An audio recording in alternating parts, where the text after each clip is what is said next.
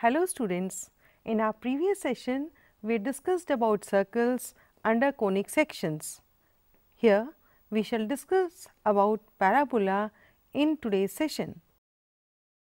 As we have studied earlier, a conic section as the name implies is a section cut off from a circular cone by a plane in various ways.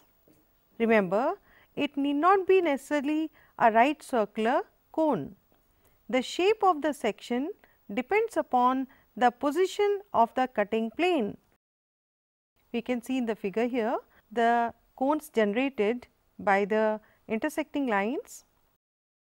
We consider double right circular cone of semi vertical angle alpha and let it be cut by a plane inclined at an angle theta to the axis of the cone.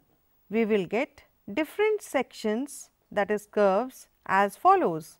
In case 1, if the plane passes through the vertex O, the curve of intersection is a pair of straight lines passing through the vertex which are real and distinct for theta less than alpha. They are coincident for theta is equal to alpha that is the plane touches the cone and they are imaginary for theta greater than alpha. In the second case, if the plane does not pass through the vertex O, the curve of intersection is called a circle if theta is equal to pi upon 2. It is called a parabola for theta is equal to alpha that is if the plane is parallel to the generator PQ. It is called an ellipse for theta greater than alpha and theta is not equal to pi by 2 that is if the plane cuts both the generating lines PQ and RS. It is called a hyperbola for theta less than alpha that is if the plane cuts both the cones. Thus, we may get the section either as a pair of straight lines, a circle, a parabola an ellipse or a hyperbola depending upon the different positions of the cutting plane. These curves of intersection are called the conic sections.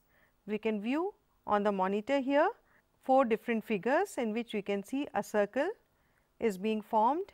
In the second case you can see an ellipse, in the third one parabola and fourth one shows hyperbola. Now, let us look into the analytical definition of conic section. A conic section or conic is the locus of a point P which moves in such a way that its distances from a fixed point S always bears a constant ratio to its distance from a fixed line, all being in the same plane. Now, let us look into the definitions of various important terms. What is focus? The fixed point is called the focus of the conic section. Directrix, the fixed straight line is called the directrix of the conic section. In general, every conic has four foci. Two of them are real and the other two are imaginary. Due to two real foci, every conic section has two directrices corresponding to each real focus.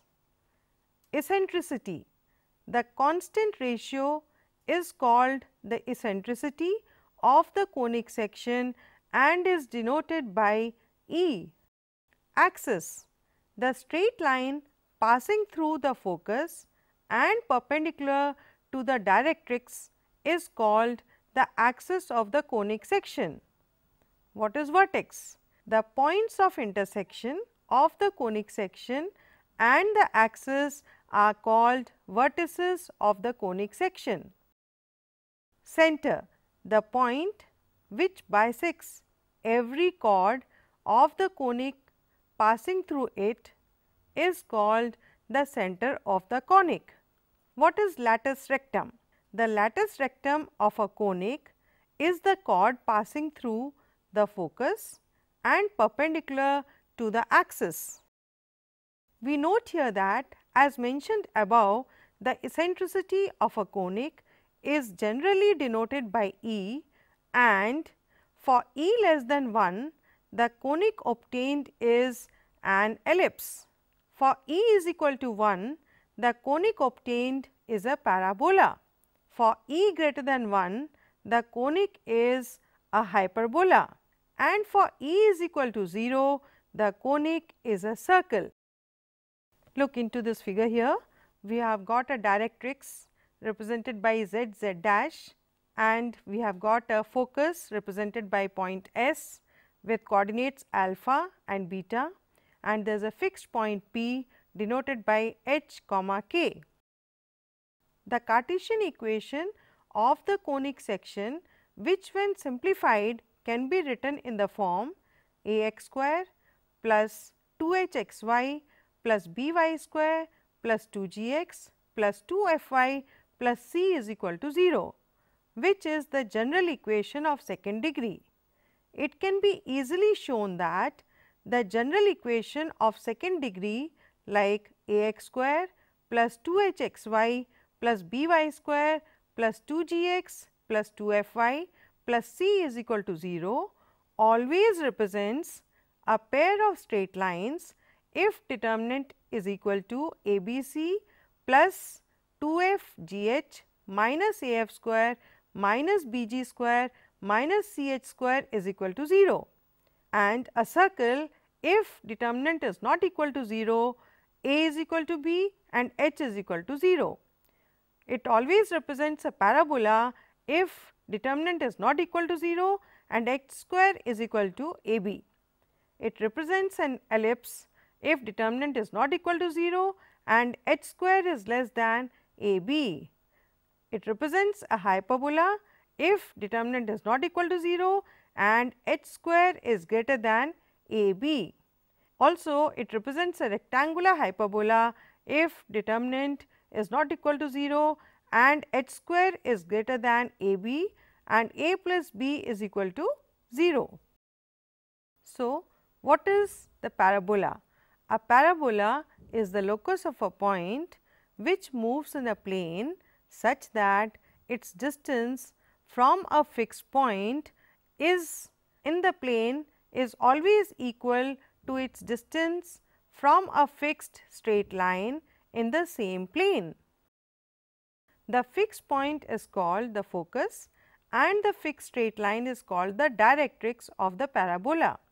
The line through the focus and perpendicular to the directrix is the axis of the parabola. The point on the axis midway between the focus and the directrix is called the vertex of the parabola. Now, let us look into an example involving parabola. Find the equation of the parabola whose focus is minus 3 comma 2 and the directrix is x plus y is equal to 4. Look into the solution here. Let p x comma y be any point on the parabola whose focus is s minus 3 comma 2 and the directrix x plus y minus 4 is equal to 0. Draw P m perpendicular to x plus y minus 4 is equal to 0, then S p is equal to P m. On squaring both the sides, we get S p square is equal to P m square, which can be written as x plus 3 whole square plus y minus 2 whole square using distance formula that is equal to absolute value of x plus y minus 4 upon square root of 1 plus 1 whole square.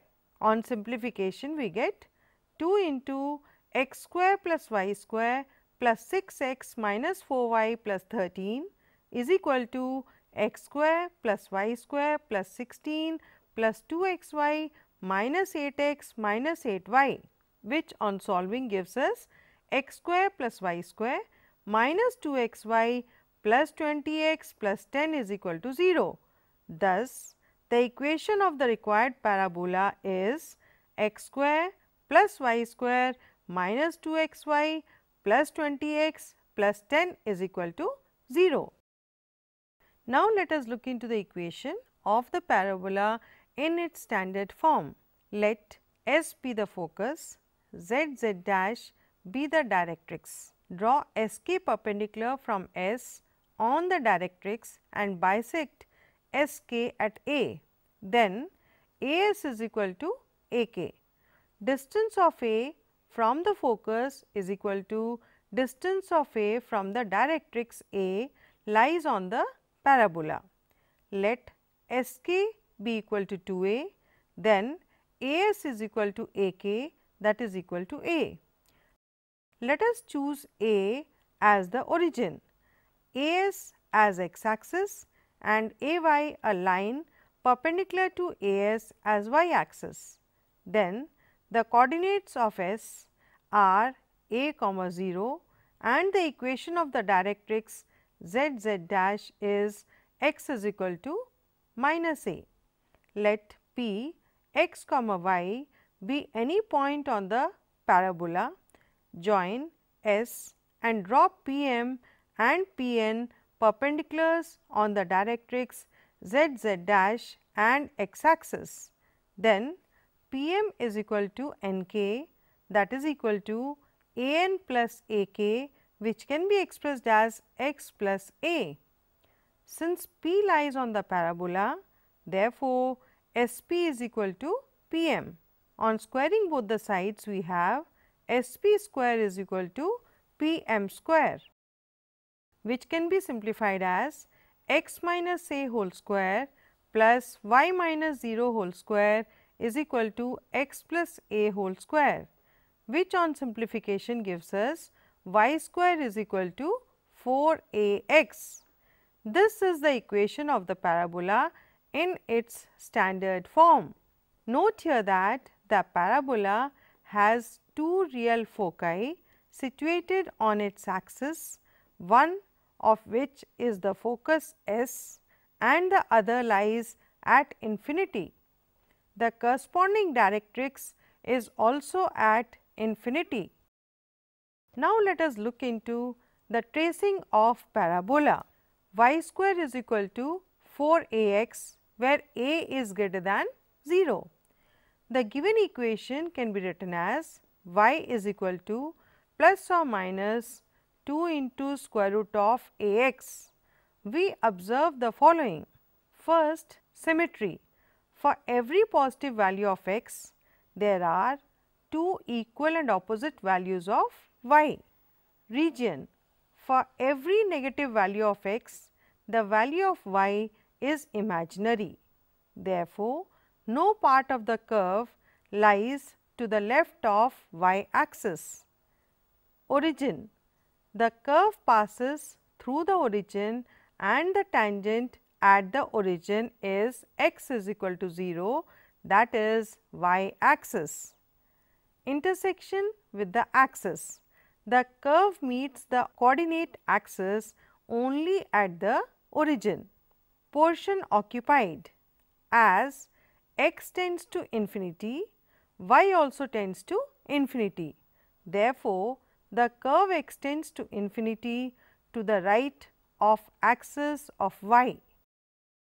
With the help of the above facts and by joining some convenient points on the parabola, the general shape of the parabola y square is equal to 4 a x.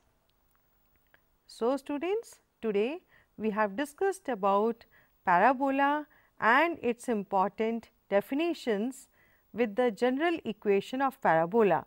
In the coming sessions, we shall solve some problems involving parabola. Thank you.